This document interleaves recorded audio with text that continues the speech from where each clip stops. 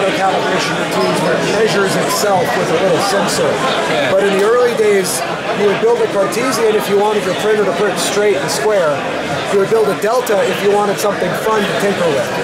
Uh, nowadays, it's not quite that way. The Deltas, uh, the software has gotten so good, they can auto-calibrate. You can build great dimensionally accurate parts on a Delta.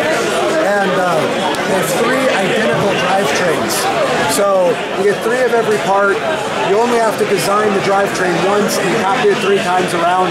So in a lot of ways, they're easier to design and build.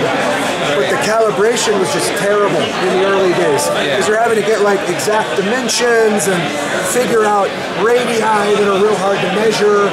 Uh, and if you get it off by a millimeter, it won't print straight. So nowadays with the auto probing routine, like I've got it running here, just uh, uh, it's not printing now, but just doing a little auto probe. It's automatically figuring out its own geometry. You give it rough numbers, and it'll fine tune them. Uh, every time it's probing, it's getting a little more data to run through an algorithm. Um, and that's just transformed the way deltas are used. So uh, my, my partner at the table here, he's got. Um, he just makes some stunning prints on his delta here. Give this one a little spin. It's a fully functioning fly fishing reel.